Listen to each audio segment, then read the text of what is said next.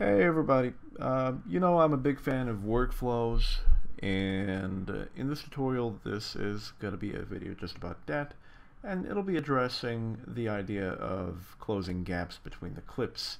Now everybody knows there uh, Vegas has the built-in ripple effect if you have this enabled and if I grab this and well if I just delete this it'll just bring this a little closer.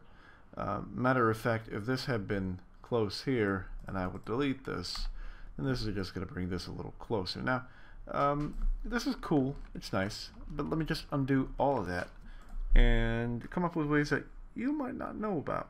Or uh, one of the things is that if the ripple effect is on, you can double click the space in between and you hit the delete button.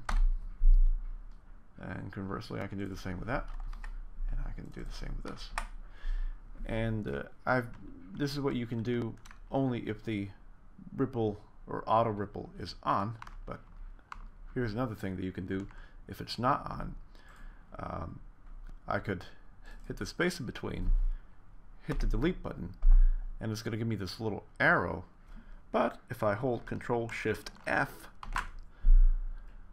that's going to alleviate the problem now that's an extra step but it does the same job. Delete button, Control Shift F. Lastly, there is this feature, which I believe showed up in Vegas Pro 16. Uh, if you go ahead and highlight the whole event and or timeline and just right click uh, in the space rather, you'll see a feature here that says close gaps beautifully done.